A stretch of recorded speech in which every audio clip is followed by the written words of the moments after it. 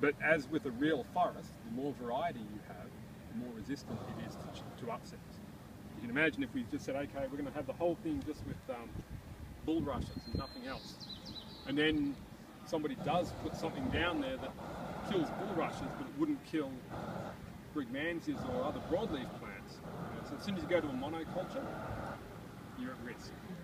And the more diversity you have, the better it is. And that's true of natural systems. Of things like economies. Diversify our economy, our town is more resistant to upsets. One industry town, you know, there's an upset there at that sawmill and, and you've got a problem. So we're striving for the same sort of diversity.